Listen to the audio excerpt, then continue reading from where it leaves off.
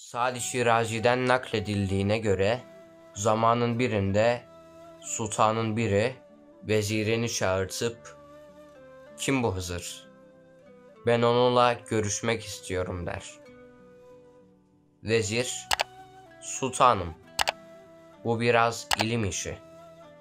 Ben de çok ilmi bir adam değilim ama isterseniz Şeyhülislam'ı çağıralım. O bu konuları iyi bilir deyip huzurdan ayrılır. Sultan Şeyhülislam'ı çağırtıp Hazreti Hızır'ı bulması gerektiğini ve onunla görüşmek istediğini söyler. Şeyhülislam Sultanım bu ilim işinden ziyade biraz da maneviyat işidir. Ben de manevi olarak o kadar yüksek değilim. Ama bir fikrim var. Şehrin her yerine salalım tellalları, her tarafta haykırsınlar. Sultan Hızır'la görüşmek, onunla konuşmak istiyor. Bulup getirsinler.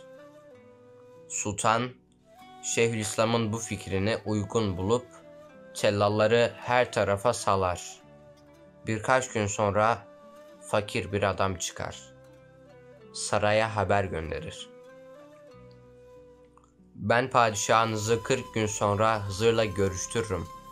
Fakat bir şartım var diyerek ekler. 40 gün boyunca padişahın sarayında ne pişiyorsa benim evime de o gelecek der. Sultanın adamları sultana haberi iletir. Sultan kabul eder.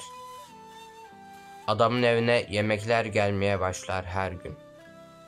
Evin hanımı şaşırır. Beyine sorar. Beyim, biz daha düne kadar yiyecek pirinç bulamazken bu yemekler ne ola? Beyi hanımına dertli bir şekilde hanım sorma ben bir halt yedim ama 40 gün sonra hayırlısı. Hanımı daha çok merak eder. Ne oldu da böyle konuşursun beyim diye sorar. Adam durumu anlatır. Sultana onu Hazreti Hızır aleyhisselam ile görüştüreceğimi söyledim. Hayatımızda birkaç gün mükellef yemekler yemek istedim. Ama bakalım 40 gün sonra hayırlısı.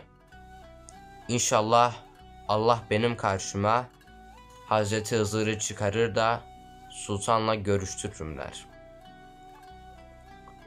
40 günün sonunda padişah adamın evine biri Hazreti Hızır için biri de adam için iki tane at gönderir. Adam askerlere bir tane at yeter der. Asker sorar. Efendim, hani iki kişiydiniz? Fakir adam, sen karışma. O padişahla benim aramda der ve ekler. Evladım, bana biraz müsaade edin, iki rekat namaz kılacağım der. Adam namazdan sonra ellerini açar. Ya Rabbi, ben fakir bir adamım. Gerçi yaptığım şey hatadır. Ama evime yemek götürmek için, ekmek götürmek için böyle bir hata yaptım. Allah'ım, beni affet, beni mahcup etme Allah'ım der ve atına biner, yola koyulurlar.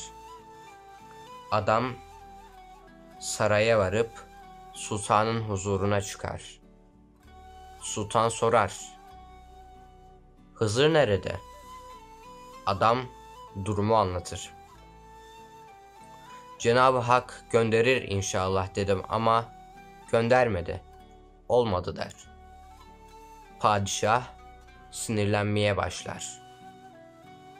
Madem yemek istiyordun gönderirdik. Neden sen bizi aldatıyorsun? Neden bize yalan söylüyorsun? Padişaha, sultana yalan söylemekten utanmıyor musun diye adama kızar. Bu arada padişah salonun arkasında bir tane çocuk görür. Herhalde bu adamın çocuğu adamın yanında gelmiştir der, geçer. Padişah birinci vezire dönüp ne yapalım bu adamı diye sorar.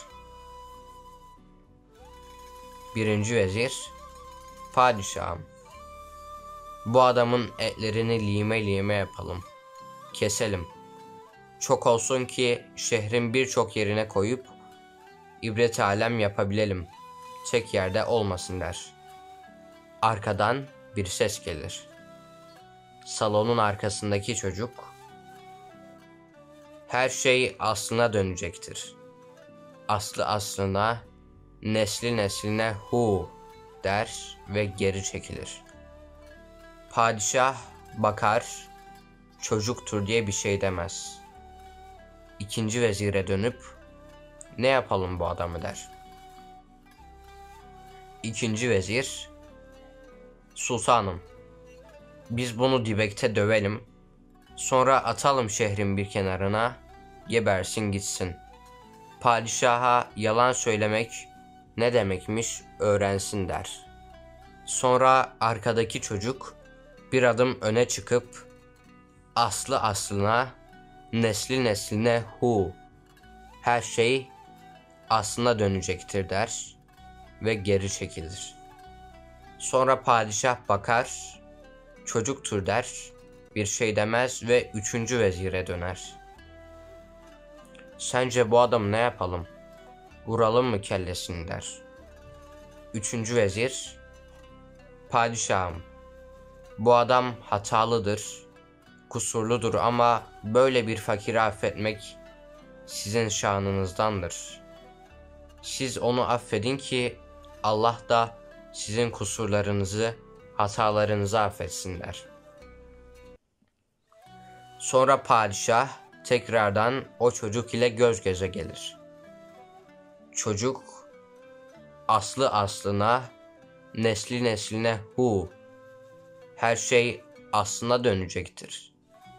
Sultan artık dayanamayıp kim bu çocuk diye etrafındakilere sorar. Sultan fakir adama şu çocuğuna bir şey söyle der. Adam sultanım bu benim çocuğum değil diye cevap verir. Çocuk ardından tekrar bir adım öne çıkar ve sultanım siz bu adamı buraya ne için çağırdınız? Sultan, bu adam Hızır Aleyhisselam ile beni görüştürecekti derken çocuk lafını keser. Sultanım, başveziriniz dediğiniz adamın babası kasaptır. Kendisi de onun gibi kasap. Halkı lime lime eder, halka zulmeder. Bu adamı alın, kasap yapın.'' İkinci veziriniz diye yanınıza koyduğunuz adam bir aşçının oğludur. Dibek gibi dövmek ister. Bunun eline fırsat geçse bu halkı döver, halka söver. Bunu alın, aşçı yapın. Üçüncü veziriniz bir vezirin oğludur. Asaletli, faziletli birisidir. Onu alın, başveziriniz yapın. Hızır'dan maksat nasihattır.''